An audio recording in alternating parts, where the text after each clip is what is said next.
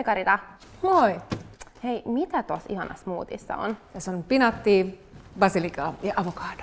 Käyt sä oikeasti päivittäin avannossa? Joo. Onko sulla mottoa? Montakin, mutta vaihtuu koko ajan. Hei, me kuultiin, että sulla on hyvä vinkki vartalorasvan levittämiseen. Joo.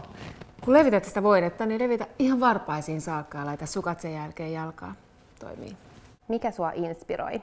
Aha, ihan kaikki. Luonto, ihmiset, matkustelu, ruoka, lehdet. Ihan kaikki. Ihanaa. Hei, kiitti Karita. Kiitos. Moikka! Moi!